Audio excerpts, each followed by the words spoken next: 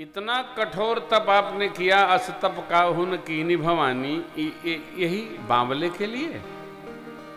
तब मेरी माँ क्या कहती है, ये पद सुनिए, बड़ा अद्भुत है। सखी हमार जोगिया हो, अरे हमार जोगिया